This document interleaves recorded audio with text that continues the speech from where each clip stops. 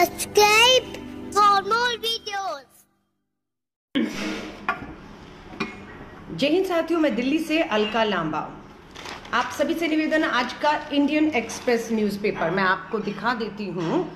जिनके घर में आता है, बहुत बेहतर है। पहला पेज है, ज़्यादा मेहनत करने की ज़रूरत नहीं और पहले पन्ने की पहली दो खबरों को आपसे निवेदन है, पढ़ लेना, नहीं तो मेरा ये वीडियो आप देखेंगे और बांटेंगे तो बहुत रहेगा। मैं आपको दिखाती हूँ, आज की इंडियन एक्सप्रेस में क्या है।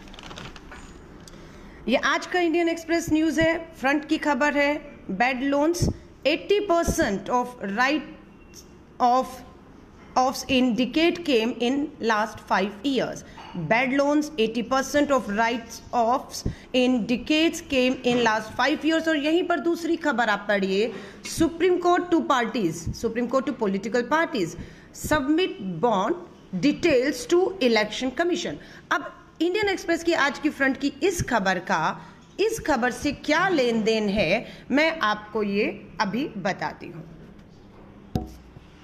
बिल्कुल, अब आपने देखा इन दोनों खबरों का। दस सालों में पिछले दस सालों में इतना कर्ज माफ़ नहीं हुआ जितने मात्र पिछले पाँच सालों में बैंकों का जो कर्ज लिया गया था। ये कर्ज किसान, गरीब आदमी ने, किसी स्टार्टअप में बेरोजगार युवा ने नहीं लिया था। ये पूंजीपतियों ने हमारे बैंकों से लोन लिया था, कर्ज लिया था। और कर्ज लेने के बाद इन्होंने कर्ज वापस नहीं लौटाए। कुछ लोग तो कर्ज लेकर भाग गए इस देश से और केंद्र की मोदी सरकार ने उनसे कर्ज वापस लेने की बजाय भागने में मदद तो की की, साथ में उनका उनका 80 प्रतिशत कर्ज माफ़ कर दिया है।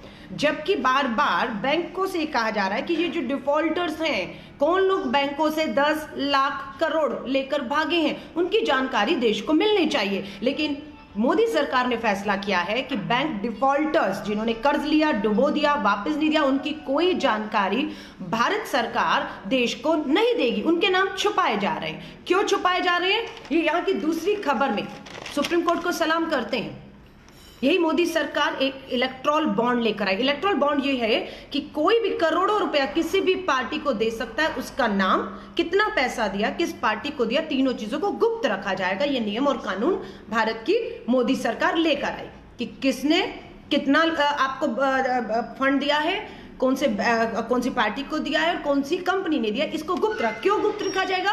क्योंकि यहाँ पर जो बैंक का पैसा लेकर भागे उन्हें भी गुप्त रखा जा रहा है। दोनों चीज़ों को अगर आप खुलासा कर दें कि किन्होंने बैंकों को चूना लगाया दस लाख करोड़ लेकर भागे और जिनको पिछले पाँच साल में मोदी सरकार ने उनका अस्सी प्रतिशत जो कर्ज है वो माफ़ कर दिया है छोड़ दिया है उन्हें वसूली करने की बजाय और दूसरी तरफ़ यहाँ पर जो बॉन्ड आते हैं उसकी भी जानकारी नहीं दे रही। दोनों का खुलासा हो तो आप, आपको पता लग जाएगा जिसपे मुझे यकीन है कि जो ये बैंकों का पैसा लेकर भागे हैं वही लोग इन्हें पैसा चुनावों में बॉन्ड के रूप में देख रहे हैं। सुप्रीम कोर्ट ने कहा है कि इकतीस मई तक, इसी महीने के अंत तक, हर पॉलिटिकल पार्टी को इलेक्ट्रॉल बॉन्ड जो है, जो, किस कंपनी ने कितना पैसा, किस पार्टी को दिया, इसका खुलासा करना पड़ेगा। और मुझे पूरी उम्मीद है, जब ये खुलासा होगा, तब आप देखेंगे कि दूध का दूध, पानी का पानी हो जाएगा एक और खबर आपको दिखा रही हूँ। अब आप देखिए इसको।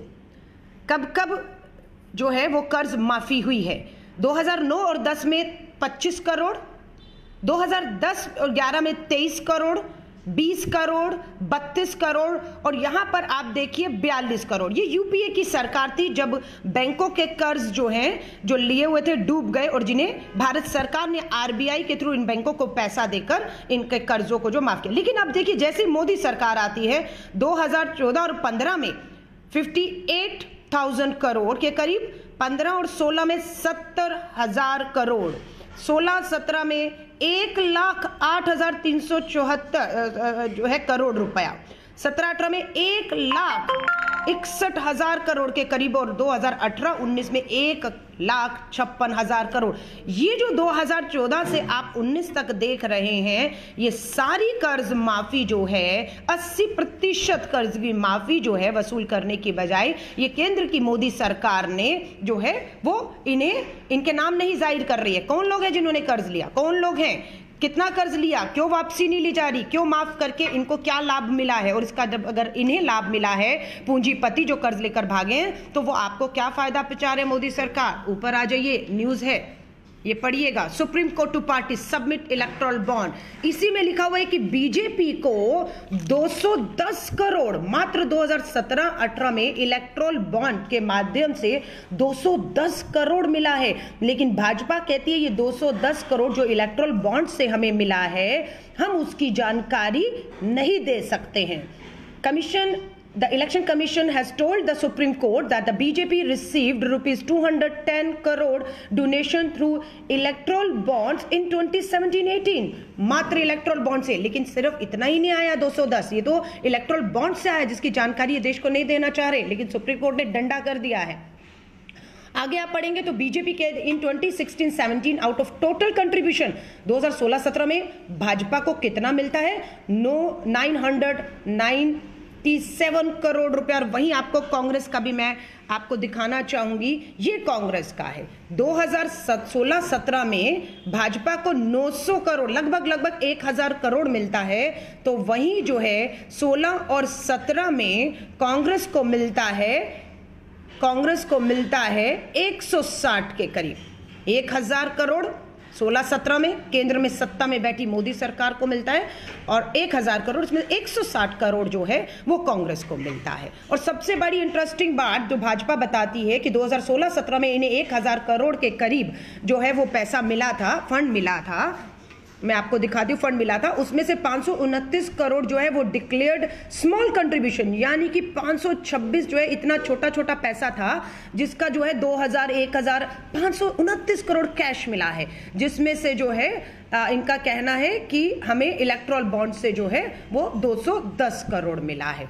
ये दोनों खबरें 80 percent bad loan write off in decade in last came in last 15 5 years and Supreme Court to party submit this सारी कहानी समझ आ गई। न खाऊँगा, न खाने दूँगा।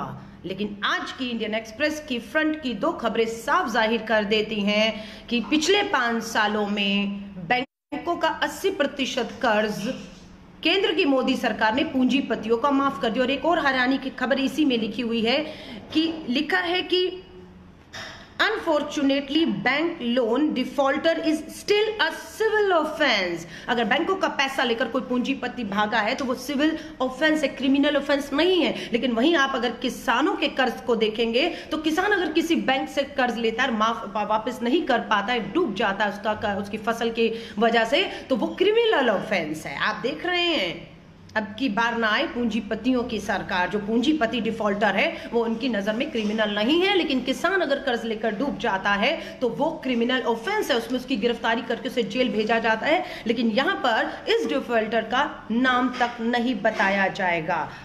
अब की बार ना आने पाए, बैंकों को चूना लगाने वाली सरकार। तो मैं आप सभी से कहूँगी अरुण जेटली जी, आपको बहुत दया आ गई थी बैंकों के ऊपर। आपने देश का दो टू पॉइंट इलेवन यानी कि दो लाख करोड़ रुपए, रुपया जो हमारा करदाताओं का था, इन बैंकों में डालने की बात की कि बैंक डूब रहे हैं। थोड़ा सा उन्हें मदद मिलेगी, दो लाख करोड़। लेकिन आज की हकीकत है कि वो जो दो लाख करोड़ था, भी, वो भी ऊट के मुँह में जीरा साबित हुआ है। और ये जो कर्ज है, वो दस लाख करोड़ पे पहुँच चुका है। मैं नहीं कह रही आरबीआई की रिपोर्ट कह रही है। आरबीआई की रिपोर्ट के हवाले से इंडियन एक्सप्रेस ने आज की स्टोरी की है कि अरुण जेटली जी आपके दो लाख करोड़ रुपए भी जो करदाताओं के, जो सरकार के थे वो बैंकों में डाले, वो तो गए गए, क्योंकि उससे उठ के मुँह में जीरा साबित हुआ। दस लाख करोड़ का कर्ज और भी जो है वो बढ़ गया है। और आपने पिछले दस सालों के कर्ज में इतना माफ़ नहीं हुआ जो आपने पाँच साल में किया है। मैं आप सभी से कहूँगी, दबाव बनाइए कि बैंकों में जिन्होंने कर्ज लिए, जो डिफॉल्टर थे उनके नाम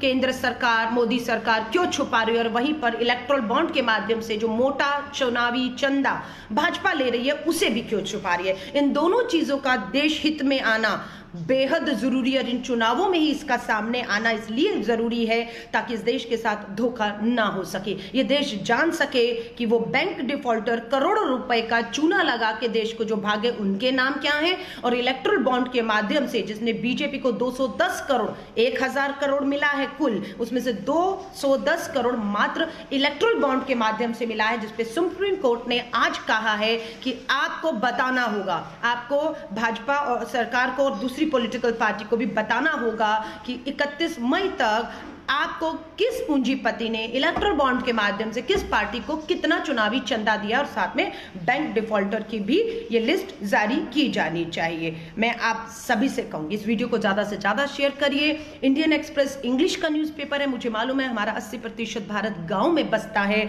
और हमारी दिल्ली में भी अगर बात करें, बहुत लोग मजदूर हैं, काम करने वाले हैं, शायद वो हिंदी का अखबार भी ना खरीदते हो। उन्हें पता भी ना हो कि देश को कितना बड़ा चूना जो है, वो देशभक्ति, राष्ट्रवाद की आड़ में जो है वो लगाया जा रहा है। वो हिंदू मुस्लिम की लड़ाइयाँ करा कर लगाया जा रहा है। वो ऐसे मुद्दों में उलझाया जा रहा है ताकि आप इन पे प्रश्न इनसे ना पूछ पाए। मैं सबसे कहूँगी इंडियन एक्सप्रेस के अखबार में आया है, हो सकता है दूसरी अखबारों में भी आपको मिल जाए। पढ़िए, उसे फेसबुक सोशल मीडिया व्हाट्सएप पे छापिए, क्योंकि ये report RBI Reserve Bank of India की है, जिसे इंडियन एक्सप्रेस दूसरी अखबारों ने छापा है। और एक बार फिर इस इस दोनों खबरों के साथ आप सभी से विदा लूँगी। उम्मीद के साथ इस वीडियो को ज़्यादा से ज़्यादा आप शेयर करेंगे। दो खबरें, दोबारा आपसे विदा लेने से पहले, क्योंकि आज मुझे अपनी विधानसभा में जाना है, आज मैं लोगों के बीच में रहूँगी, उन सब चीज़ों के बारे में बताऊँगी, क्योंकि लोग वोट करें, उससे पहले उनके सामने ये चीज़ों का आना ज़रूरी है। पहली खबर 80 percent bad loan write off in decade came in last five years यानी कि 80 प्रतिशत डूबा कर्ज पूंजीपति जो लेकर भाग गए हैं, उसे केंद्र सरकार ने उसमें से 80 प्रतिशत मात्र पिछले पाँच सालों में माफ़ किया है। And Supreme Court to parties, political party submit bond detail, यानी कि किस पूंजीपति ने बैंक को चूना लगाकर आपको यहाँ पर उस काले धन को, आपने उनको पहले बैंकों से पैसा दिया, वो बैंक से पैसा लेकर भाग गए, आपने भागने दिया और फिर वही पूंजीपति आपको बीजेपी को 210 करोड़ रुपया जो है फंड देते हैं इलेक्ट्रल बॉन्ड के माध्यम से और दोनों में आप इनकी जानकारी को मोदी सरकार क्यों गुप्त रखना चाहती है, सिर्फ़ एक बड़ा प्रश्न है। आप पूछिए कि क्यों जिन लोगों ने, पूंजीपतियों ने बैंकों से कर्ज लिया, उनके नाम क्यों ज़ाहिर नहीं होने चाहिए कि वो कौन है, कितना कर्ज लिया है, वो कहाँ पर है, कितनी वापसी इसका क्यों नहीं जानकारी और क्यों जानकारी ना हो कि पॉलिटिकल पार्टी को कौन पूंजीपति आज इलेक्ट्रल बॉन्ड के माध्यम से जो है मोटा चुनावी चंदा दे रहे हैं और इन दोनों जानकारियों को क्यों गुप्त रखा जा रहा है, किसे अंधेरे में रखा जा रहा है, मैं ये चाहूँगी आप इस दोनों क्लिपिंग के साथ ज़रूर पूछिएगा क्योंकि ये समय पूछने का है, ये समय जवाब लेने का है ताकि हम फिर से धोखा ना खा पाए, ये देश कंगाल होने से बचा पाए। आप सभी को मेरी शुभकामनाएँ। जय हिंद।